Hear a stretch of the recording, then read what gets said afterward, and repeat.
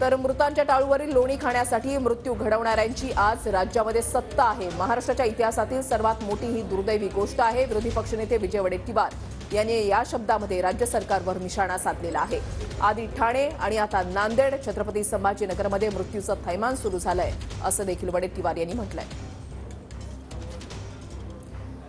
तर वडेट्टीवारांनी नेमकं काय म्हटलेलं आहे? तर मृतांच्या टाळूवरील लोणी खाणारे ही म्हण आपण ऐकली आहे पण लोणी खाण्यासाठी मृत्यू घडून आणणारे राज्यकर्ते. आज महाराष्ट्रामध्ये सत्ता चालवत आहेत.